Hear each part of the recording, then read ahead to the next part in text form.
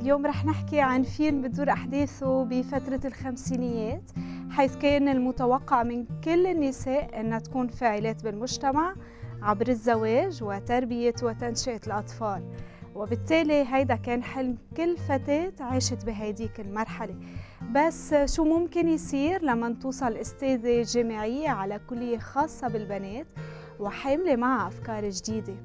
موناليزا سمايل بخبر قصة كاثرين واتسون وهي أستاذة جامعية متخصصة بالفنون توصل على هالكلية لتعلم مادة تاريخ الفن.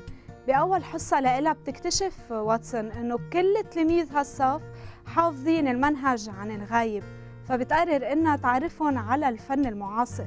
وخلال هيدي التجربة رح تتقرب أكثر من تلاميذها لتشوف إنه معظمهم ما عندهم حلم تاني غير الزواج والعديد منهم بيعتبروا الامرأة درجة تانية وتابعة للرجل.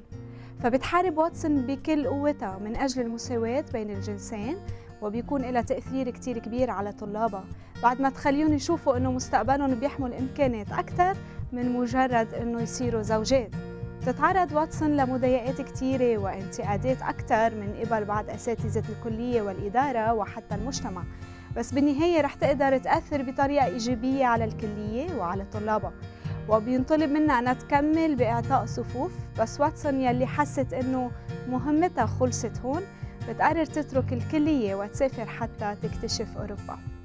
الفيلم من إخراج مايك نيويل كتابة لورنس كونر ومارك روزنثل بطولة جوليا روبرتس إنتاج Columbia Pictures Revolution Studios Red Om Films Productions الفيلم نزل على الأسواق سنة 2003 أكيد بيستاهل إنه يكون بمكتبتكم السينمائية.